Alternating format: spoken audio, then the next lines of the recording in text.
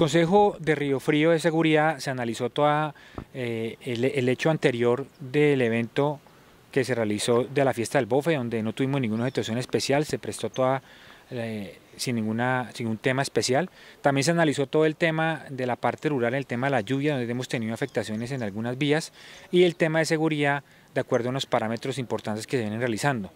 También eh, se verificó sobre unos apoyos que se van a realizar en la vía y unos controles que se van a realizar los días domingo, porque tenemos mucha presencia por parte de las personas que están yendo a bañarse, a utilizar el río, y eso está generando pues inconvenientes y pronto tenemos alguna situación lamentable. Sí hemos tenido un buen trabajo por parte de las unidades en el distrito de Policía Tuluá, donde tenemos unas reducciones importantes en Andalucía, Bugalagrande, Río Frío y Trujillo, y haciendo un control importante acá en el municipio de Tuluá.